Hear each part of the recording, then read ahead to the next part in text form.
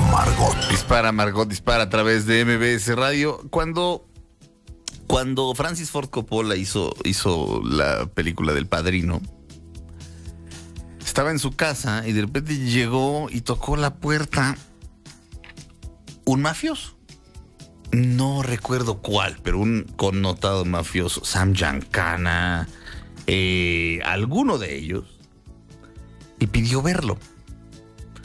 Y Coppola, porque, evidentemente la película fascinó a los mafiosos, eh, al grado de que, al grado de que, bueno, en Los Sopranos ves como los mafiosos, bueno, también son mafiosos de ficción, pero se supone que eso es la realidad, están fascinados con el padrino, incluso lo imitan, incluso.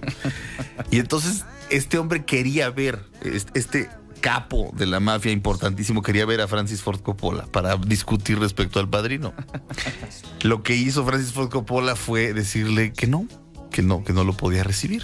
Porque si le abres la puerta al diablo, el diablo se mete. Y las reglas del- de los vampiros es, el vampiro no va a donde no lo llamas, ¿eh? Si tú dejas la puerta abierta, digo, la ventana abierta y te duermes con el cuello desnudo así como, así como, como para arribita, Y le dices, pásale. eh, se mete, pero un vampiro no entra donde no lo llamas.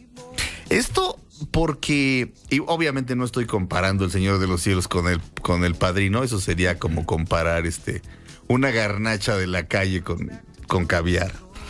Este, la garnacha de la calle está rica. Sí, sí, pero, pero- no es pero caviar no es beluga. caviar Pero no es caviar claro, beluga. no, no, no. Eso es. Sí, ya, Ambas ya, cosas ya. están bien, pero una cosa es una, una cosa es algo absolutamente incomparable, que es el padrino.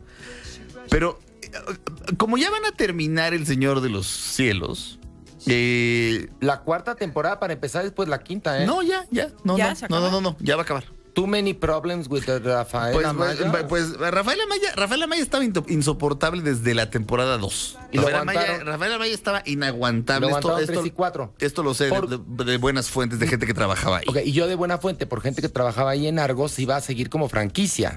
Sí, pero bueno, ya con el, con el último detallazo, de Rafael Amaya, que- que, supuestamente está de vacaciones, pero bueno, misteriosamente no está yendo a trabajar. ¿Ok? Se habla de que se habla de se habla de problemas de drogas y así, pero este, van a ser pam, pam. ya le van a hacer pam pam, pero lo que dicen es que ya les habían pasado varias cosas desagradables. De entrada, los desplantes de Amaya sí son fundamentales en el asunto. Este, pero dicen que antes les pasó que llegó a las locaciones un supuesto sicario a darles su opinión sobre las actuaciones que debería tener un personaje de este tipo. ¿Y sabes qué? Lo creo. Sí. Sí. Lo creo. claro. Me imagino perfecto al sicario picado en su casa porque la, la serie está muy bien hecha. Y mira que detesto a Pigmenio Ibarra. Ya para que yo lo diga, la serie está muy bien hecha.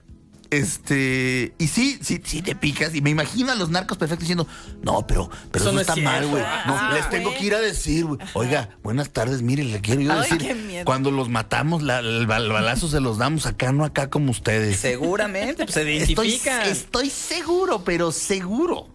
Este. Claro, pues es tu, oye, es tu Media- trabajo, entre comillas, y ve- estás viendo un producto, un producto que habla de ti, pues dices, oye, ¿te ¿Sabes quieres qué me- meter? Me da, un po- ¿Sabes qué me da un poco de miedo con estas cosas? Pero basta con decir no.